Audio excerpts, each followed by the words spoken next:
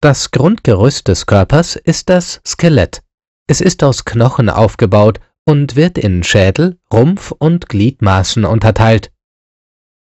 Zusammen mit den Muskeln und der Haut verleiht es dem Körper Stabilität und Beweglichkeit und bestimmt seine äußere Form. Außerdem schützen besonders geformte Knochen die wichtigen inneren Organe.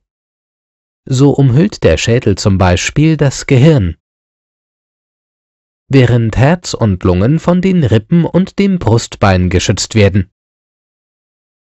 Knochen bieten aber nicht nur Schutz und Stabilität, sondern sind auch eine überaus wichtige Produktionsstätte.